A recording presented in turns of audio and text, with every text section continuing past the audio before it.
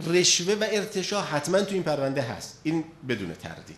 قاضی محترم اخلال در نظام اقتصادی کشور را نسبت به بیشتر متهمین یا به عنوان مباشر یا به عنوان شریک یا به عنوان معاون تفهیم کرده. ولی این به این معنا نیست که اتهام دیگری رو تفهیم نکرده. این بازور تاکید می‌کنم خط قرمزی نداریم.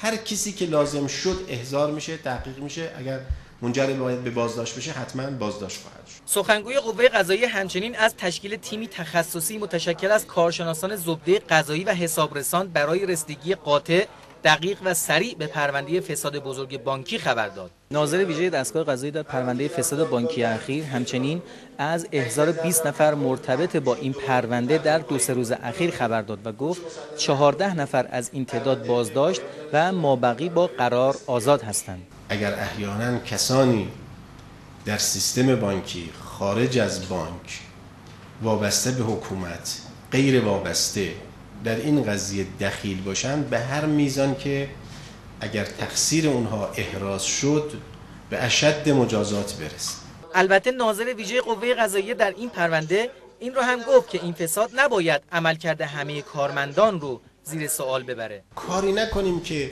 مدیران و کارمندان صالح ما که بسیار هستند چه در سیستم بانکی در غیر سیستم بانکی اینا خدای نکرده خدشدار بشن. سخنگوی قوه قضاییه درباره خروج مدیرعامل سابق بانک ملی از کشور و نحوه بازگرداندن وی نیز گفت اگر مدتی گذشت و بر نگشت و زمانی شد که ما دیدیم اتهامات به گونه است که ایشون حتما باید بیاد و جوابگو باشه. یعنی غیر از قصور در مدیریت سهلنگاری در مدیریت که اونا اقدامات قضایی نیست. اگر به اونجا رسید حتما وظیفمون هست و حتما اقدام می‌کنیم نسبت به اونچه که قانون بالاخره در اینجا مقرر داشت.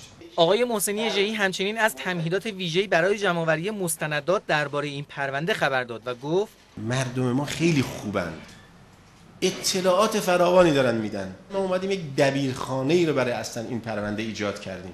در دادستانی تهران در همین دادسرای مرکز در جوار خود آقای دولت آبادی یه دبیرخانه اونجا مستقر شد که همه کسانی که اطلاعاتی اگر می‌خوان بدن اطلاعاتی دارن پیرامون این موضوع برن اونجا بدن اونا افرادی باشن که بشنون مکتوب کنن پیگیری بکنن و بعد اگر چنانچه قابل توجه بود حتما منتقل کنن به باسپورس